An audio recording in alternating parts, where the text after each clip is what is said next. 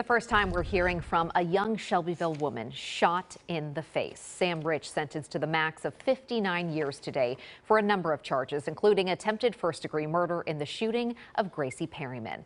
News 2 Stephanie Langston has covered this story from the very beginning. She was in the courtroom today for that sentencing, and she joins us now in the studio with this story you'll only see on News 2. Steph.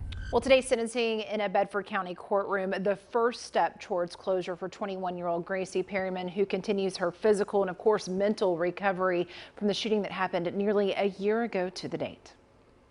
It went in under my right eye and came out behind my left ear. With bullet fragments still in her face. I've had to relearn how to eat and swallow and all of mm-hmm. that. It's been difficult for Gracie Perryman, staying focused first on surviving and now her mission of making sure her shooter, Sam Rich, doesn't win.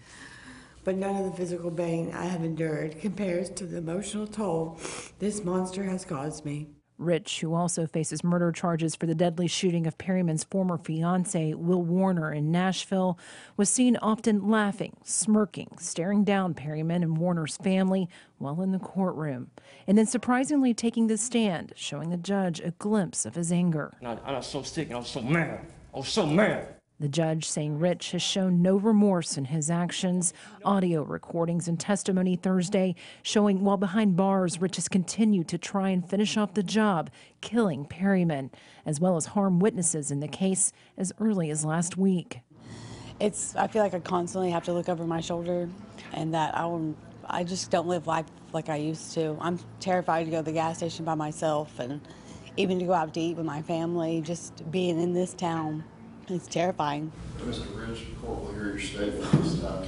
Yes, sir. Despite the testimony, Rich took the opportunity to apologize to Perryman for the first time, looking right past Warner's heartbroken family. From the bottom of my heart, I'm so sorry. Gracie, I'm sorry. I'm just not some animal that they make me out to be. And I'm definitely not some dog. Thank you.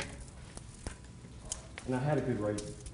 Perryman calling his apology a show with an act her family isn't buying.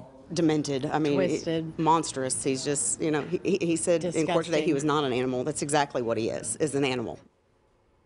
Now, the judge gave Rich the max sentencing for each count and consecutive sentencing for every count that he could. The murder trial for Will Warner is set for April 24th. Bob.